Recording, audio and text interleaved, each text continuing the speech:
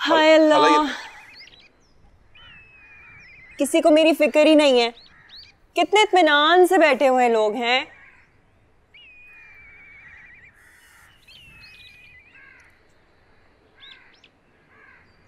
हाय ये जालिमाना हुक्म सुनने के बाद मुझ पे और आज़ा पे जो गुजरी है ना वो हम ही जानते हैं। खून हो गया हमारे अरमानों का। मेरी ज़िंदगी के बीते हुए ये दिन वापस नहीं आएँगे। कोई भाईजान को ये जाके समझाता क्यों नहीं है?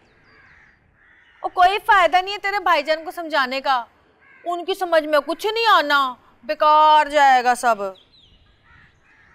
वैसे मैं और आज़र सोच रहे थे कि आप लोगों को ना किसी बड़ी जगह डिनर पर लेके जाएँ। हैं? वो पहले क्यों नहीं दसिया मैनू? बाबर मैं तो कहती हूँ हमें ना इनकी हेल्प करनी चाहिए। इनकी भी दुआएँ लेनी चाहिए। क्यों? हाय। आज़र तो इतना उदास है कि जिसकी कोई हद ही नहीं है।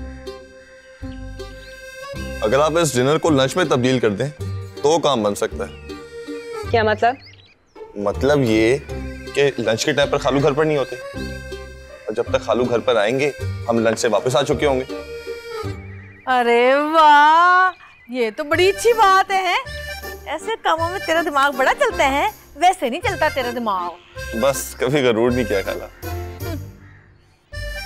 नहीं नहीं लंच इसलिए नहीं हो सकता क्योंकि वो ना अ, वो आज़र ऑफ़िस में होता है और हमने तो सोचा था हम शॉपिंग करने जाएँगे। तो अगर वो ऑफ़िस में होगा तो लंच और शॉपिंग कैसे होगी? और तू फ़ोन कर वो मान जाएगा। चलो भाई चलो तैयारी करते हैं। उजाला नहीं उजाला। भाभी आप क्या करिए मेरी बात तो सुने। मुझे पहले आज़र से बात तो करने दें। चल आजा तैयारी करते हैं। हाय अल्लाह, हमने तो सोचा था अकेले रोमांटिक बातें करेंगे। फौज को साथ ले जाने की कोई प्लानिंग नहीं है मेरी। क्या करूँ?